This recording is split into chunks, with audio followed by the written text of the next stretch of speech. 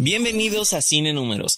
Yo soy Juan José y en esta ocasión te presentaré 7 cintas de culto que puedes ver en HBO Max, es decir, aquellas que fueron muy bien recibidas por la audiencia y críticos especializados, pero desafortunadamente son conocidas por muy pocos. Comencemos. Número 7. Macbeth. A pesar de contar con un magnífico reparto liderado por Michael Fassbender y Marion Cotillard, esta adaptación es poco conocida por las personas. Estrenada en 2015, nos cuenta la historia del general Macbeth, quien celebra victoria tras victoria. Un día, escucha la profecía de unas mujeres que le dicen que pronto va a convertirse en el rey de Escocia. Su mujer, Lady Macbeth, le fuerza a matar al rey y así ascender al trono. A partir de ese momento, Macbeth es perseguido por sentimientos de culpabilidad y paranoia, convirtiéndose en un tirano. Así, el nuevo rey sigue cometiendo más asesinatos hasta el punto de provocar una guerra civil. Evidentemente, es un dramón y de los grandes. No por nada está basada en una obra del mismísimo William Shakespeare. Claro que es un enorme reto llevar las palabras de este célebre dramaturgo con gran dignidad, pero la película está muy bien llevada. La fotografía, el vestuario y el diseño de producción son espectaculares, pero es una película que ve neutral, por lo que el ritmo es pausado y la historia se desarrolla poco a poco, tal vez porque está muy apegada a la historia original. Eso sí, las secuencias de batalla son espectaculares y crean una atmósfera preciosa, mención especial para el momento donde aparecen las brujas, un momento verdaderamente estremecedor. Número 6. Maligno. Sí, ya sé que esta cinta probablemente no está a la altura de las demás en el conteo, pero es de esas experiencias que se tienen que ver para creer. Tampoco estoy diciendo que sea una buena película. Es más, han pasado semanas desde que la vi y aún no decido si es una maravilla o una reverenda porquería. Pero eso sí, Malignant va que vuela para convertirse en una cinta de culto entre los fans del terror. Dirigida por James Wan,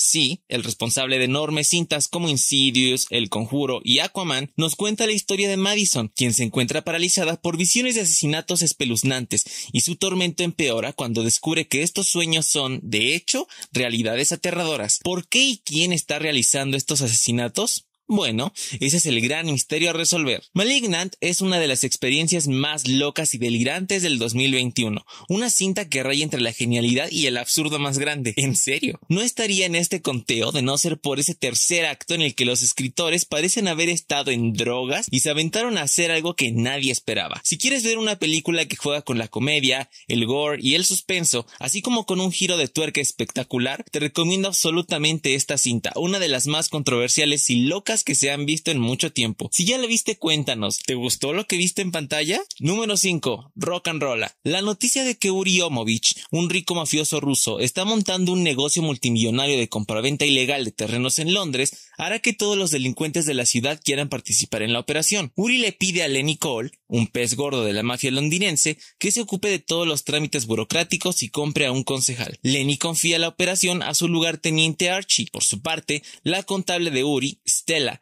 decide llevarse parte del botín. Para ello, contrata a dos mafiosos que tienen cuentas pendientes con Lenny. Vaya que Guy Ritchie se ha convertido en uno de los directores con más personalidad en la industria, pero también tiene películas que han pasado al olvido. Bueno, ese es el caso de Rock and.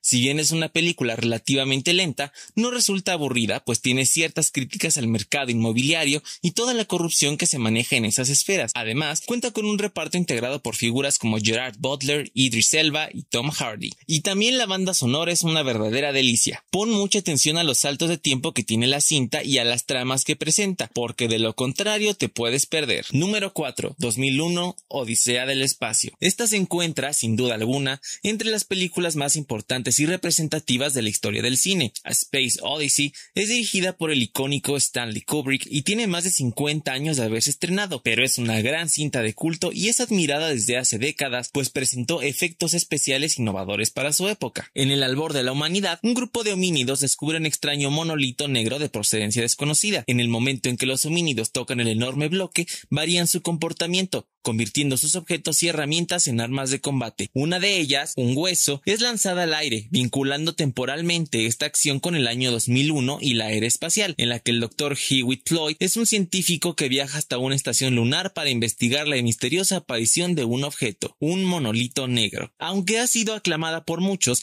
también es importante mencionar que tiene sus detractores, quienes la consideran lenta y sobrevalorada. Evidentemente, no es una cinta para todos los gustos, pues no ofrece verdades o propuestas sobre la evolución del hombre, sino que se trata más de una obra contemplativa y reflexiva en la que la quietud y la tranquilidad forman parte del relato. Lo más importante es que permite la interpretación de la audiencia, y tal vez ahí reside su estatus como cinta de culto. Número 3. Primicia Mortal. El multifacético Jake Gyllenhaal protagoniza Nightcrawler, una comedia muy, pero muy oscura en la que conocemos a Lou Bloom, un apasionado joven que tras ser testigo de un accidente descubre el mundo del periodismo criminalista en la peligrosa ciudad de Los Ángeles. Descrita por muchos como una hija perdida de Taxi Driver, esta cinta nos brinda una interesante perspectiva del papel que juegan los medios de comunicación en un mundo como el actual, donde el rating no solo es una herramienta, lo es todo. Resulta muy interesante ver cómo se desenvuelve nuestro protagonista en un mundo tan interesante como el de los medios, pues muchas de las premisas que desata esta cinta se siguen manteniendo vigentes en la actualidad y critican esa idealización que se tiene de las oportunidades laborales en los Estados Unidos. Por otro lado, también hace un análisis bastante válido del papel de los consumidores de los medios y su papel en la agencia informativa del día, pues de nada sirve que en el mundo existan buenas noticias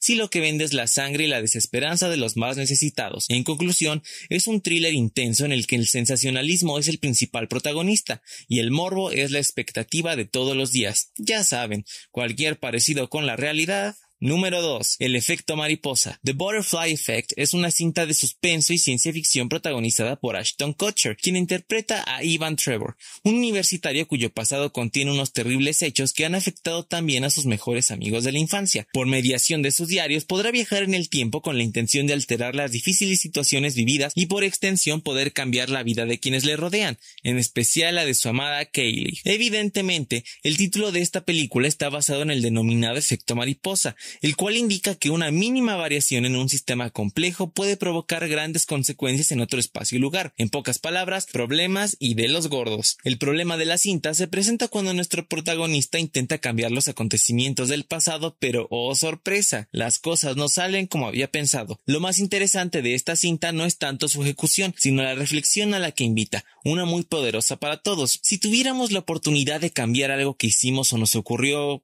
¿lo haríamos? Y si sí, ¿qué estaríamos dispuestos a pagar por ello? Esa y otras cuestiones existenciales encuentran respuesta en esta película, que sin duda se convierte en una experiencia inmersiva y que no dejará indiferente a nadie. Número 1. Blade Runner. Rick Deckard es un Blade Runner, un agente de policía destinado al retiro de replicantes ilegales. Su misión es dar caza a un grupo de cuatro de estos androides superiores en fuerza e inteligencia a los humanos, pero diseñados para vivir una corta existencia de cuatro años. Las investigaciones de Deckard le llevarán hasta la poderosa Tyrell Corporation.